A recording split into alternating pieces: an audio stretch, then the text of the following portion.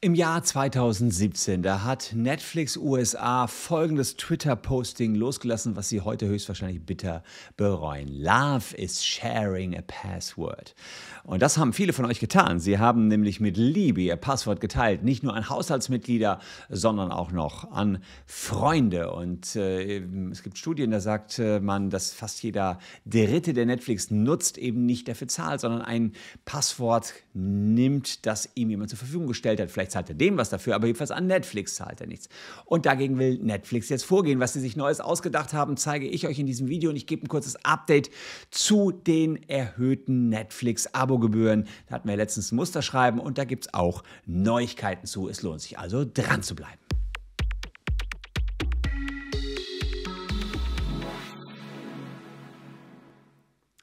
Hallo, ich bin Christian Solmecke, Rechtsanwalt und Partner der Kölner Medienrechtskanzlei Wildeborger und Solmecke. Und wenn ihr Bock habt, abonniert gern diesen Kanal, um rechtlich immer up to date zu bleiben.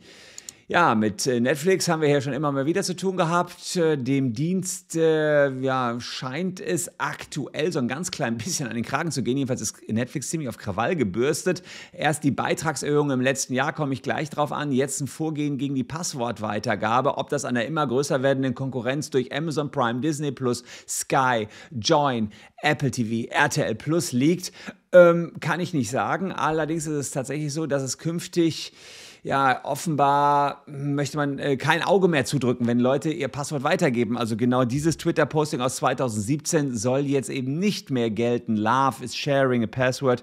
Ähm, man soll also jetzt künftig doch bitte schön seinen eigenen Netflix-Account buchen. Denn Marktforscher haben herausgefunden, dass ein Drittel aller Netflix-Abonnenten ihr Passwort ähm, weitergegeben haben, auch außerhalb des eigenen Haushalts.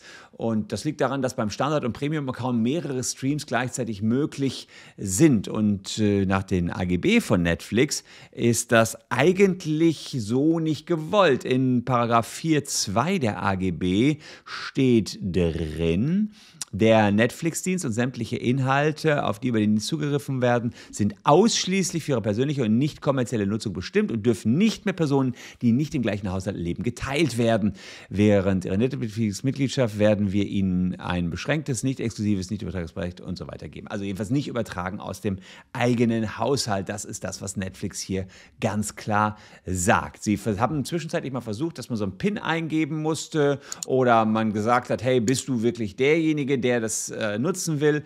Und jetzt schwingt Netflix nochmal die Preiskeule, da komme ich gleich drauf zu, wenn es darum geht, dass mehrere den Account nutzen wollen. Wobei, ob es so negativ ist, können wir gleich mal drauf zu. Ich, was da gleich kommt, ist gar nicht so schlecht. Aber die Sache mit den Beitragserhöhungen, ja, die findet ja Jahr für Jahr für Jahr statt. Ich hatte euch letztens was dazu gesagt, dass das Landgericht Berlin die allgemeinen äh, AGB von Netflix, die AGB von Netflix, in dem Punkt für unzulässig erklärt hat, in dem es äh, um ja, mehr oder weniger automatische Preiserhöhungen ging. So, und dann habe ich ein Video dazu gemacht, habe auch Musterschreiben angeboten, mit das ihr alle genutzt habt, das Musterschreiben, oder viele haben es genutzt und ähm, von Netflix eben die Abogebühren zurückgefordert haben. Unsere Meinung war, wenn sich Netflix auf diese AGB stützt und jetzt sagt, ja, wir können ja einfach mal so die Preise ey, anheben, weil wir das in der AGB haben, aber das Landgericht Berlin sagt, die Klausel ist unwirksam, dann sind ja auch alle Erhöhungen unwirksam. Viele von euch haben, wie gesagt, dieses Schreiben genutzt, das wir zur Verfügung gestellt haben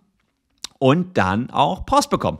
Post von Netflix, die habt ihr mir weitergeleitet. Hier die Post von Netflix, die ihr mir weitergeleitet habt. Netflix hat reagiert und gesagt, sehr geehrte Damen und Herren, vielen Dank für das Schreiben an Netflix. Wir haben Ihre Anfrage erhalten und möchten hiermit einige Ihrer Bedenken klären. Wir aktualisieren ab und zu, äh, fast jährlich, ja, unsere Preise, um unsere Investitionen von Produkt, äh, Produktfunktionen, unsere umfangreiche Palette an Filmen, Serien abzubilden und noch viel wichtiger, damit wir unseren Abonnenten bla bla bla. Also, bei einer Preiserhöhung in Deutschland informieren wir unsere Mitglieder über die Änderungen und holen deren Zustimmung ein. Also Netflix behauptet hier in diesem Schreiben, hahaha, wir holen ja in jedem Fall die Zustimmung ein. Wir stützen uns daher nicht auf Preisänderungsabstimmung, sondern eben Preisänderungsabstimmung Preisänderungsbestimmung, sondern eben auf eine Zustimmung. Mit anderen Worten, scheißegal, ob diese Bestimmung in den AGB unwirksam ist, aber die Zustimmung, die haben wir doch.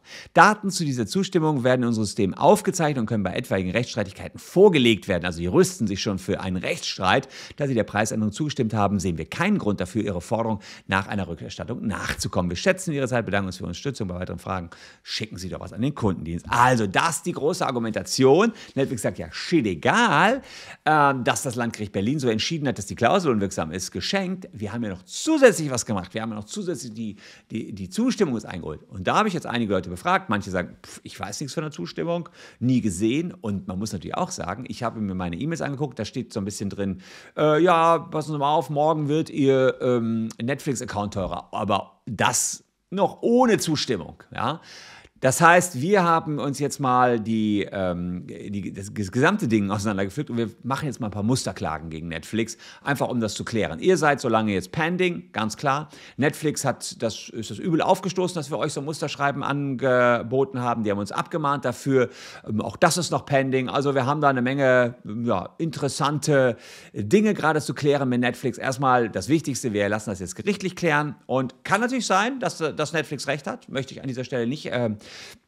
nicht ausschließen. Wir haben unser letztes Video erstmal darauf gestützt, dass das Landgericht Berlin gesagt hat, die Klausel unwirksam. Jetzt, so ist es im Recht, kommt noch ein weiterer Aspekt hinzu. Netflix sagt, ähm, ja, pass mal auf, wir haben ja auch noch zusätzlich die Einwilligung. Das klären wir mal, ob diese Einwilligung in der Form, wie Netflix sie gegeben hat, ähm, rechtswirksam war. Ich bin nicht der Überzeugung, aber dazu muss noch ein bisschen Tatsachenvortrag aufgeklärt werden. Wir verklagen jetzt für ein paar Leute mal Netflix. Ich werde das hier wieder äh, vortragen. Da lohnt sich ein Abo auf alle Fälle. Wir haben ja eure Daten, wir würden euch dann kontaktieren.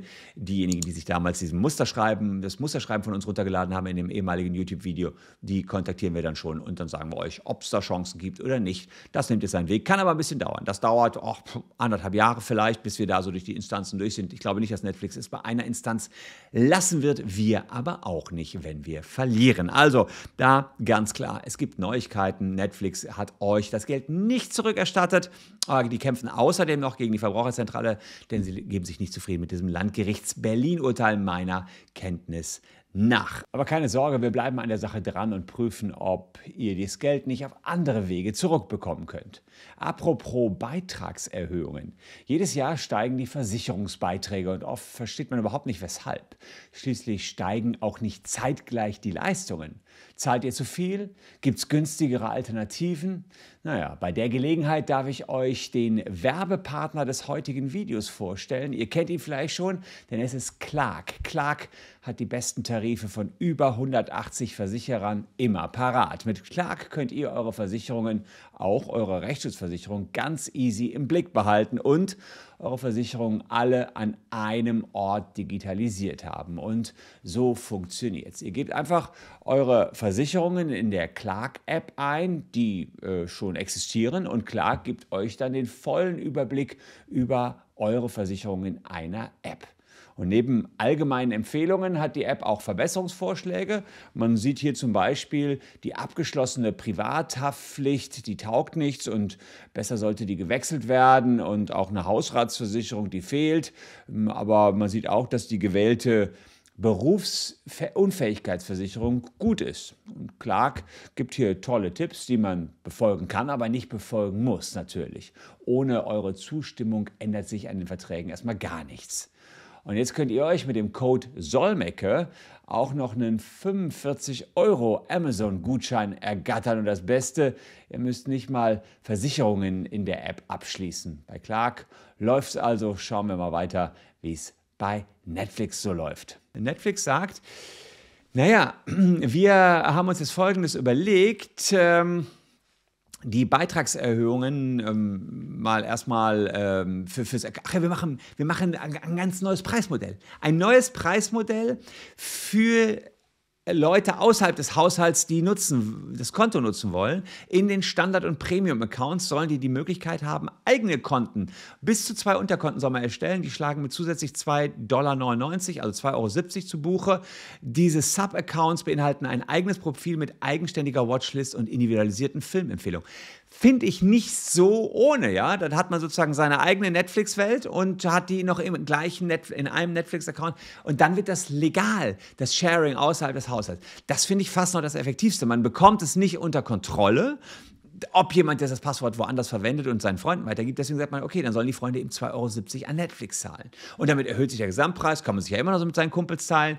Aber das ist ja mal eigentlich eine clevere Art und Weise. Wird gerade getestet, die Nummer mit den Sub-Accounts in Chile, Peru und Costa Rica. Man will jetzt Erfahrungswerte sammeln und schauen, ob man das dann ausrollt. Ja, denn technisch unterbinden kann man das Account-Sharing kaum. Und ähm, ja, jetzt muss man natürlich sagen, dass die Standard- und Premium-Accounts euch vier Streams erlauben, aber es ist tatsächlich so, dass ihr sie nicht weitergeben dürft. Das ist also aktuell so. Es gab allerdings bislang noch keinerlei ähm, ja, Sanktionen. Ich zeige euch, welche Sanktionen es aktuell geben könnte, wenn ihr verstoßt. Das steht, steht sozusagen unter 4.6 äh, irgendwo drin. Mal eben gucken, falls sie, ne, falls, falls, falls, ist jetzt ein bisschen 4,6 war das, irgendwo hatte ich irgendwas gesehen. Ah ja, falls sie gegen die, da haben wir es, falls sie gegen diese Nutzungsbedingungen verstoßen oder Dienste auf illegale, betrügerische Weise nutzen, sind wir befugt, ihre Nutzung unseres Dienstes zu kündigen oder einzuschränken. Also wenn ihr verstoßt und es weitergebt an eure Freunde, dann könntet ihr entsprechend bei Netflix rausfliegen. Das ist aktuell die Konsequenz. Habe ich noch nicht erlebt. Ja. Ähm, Netflix versucht es auf andere Weise mit diesen Subkonten, 2,70 Euro. Fände ich nicht uninteressant. Ob der chilenische Preis eigentlich auch für Deutschland gilt, keine Ahnung, ist jetzt erstmal ein Test von denen. Ich halte euch darüber auf dem Laufenden, ist doch klar. Sowohl was diese Subkonten betrifft, als auch was die Abogebühren betrifft, ob die jetzt rechtswirksam waren oder nicht. Wir führen jetzt einen Rechtsstreit, ich werde euch da einfach up to date halten. Ja, ansonsten noch, falls ihr einen Job sucht, Jurastudenten seid, ein bisschen was als freier Mitarbeiter euch dazu verdienen wollt oder Referendare, Jura-Referendare seid, dann bewerbt euch gerne. Unten in der Caption ist ein Link, hat mich meine Presseabteilung gebeten. Hey, wir suchen noch welche, die am YouTube-Kanal aktiv mitgestalten, mal Texte schreiben können für uns. Die Themen, die kennt ihr, müsst ihr nur der Vergangenheit durchscrollen. Also da schön bunte Tätigkeit, äh, kann man gut neben dem Jurastudium noch machen. Und man ist natürlich dran am Puls der Zeit. Kennt ihr jemanden, der Jura studiert und noch einen Job sucht? Auch da wieder deutschlandweit könnt ihr euch bewerben. Das soll es gewesen sein. Danke für eure Aufmerksamkeit. Hier noch zwei Videos, die euch ebenfalls interessieren könnten. Tschüss und bis morgen.